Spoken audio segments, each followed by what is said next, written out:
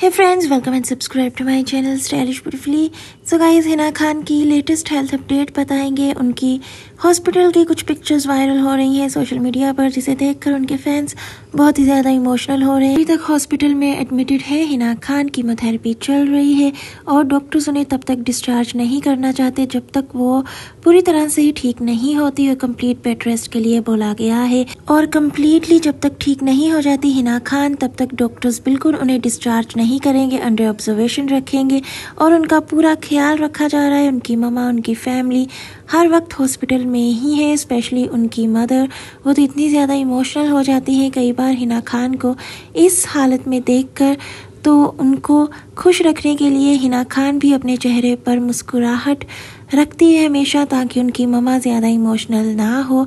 फ़िलहाल हिना खान को ठीक होने में एक साल से भी ज़्यादा टाइम लगेगा अगर उनका ट्रीटमेंट अच्छे से हुआ और अगर फर्दर ट्रीटमेंट के लिए आउट ऑफ़ कंट्री भी जाना पड़ा तो जाएगी हिना खान। सारी अपडेट देते रहेंगे। इसके लिए have to subscribe my channel.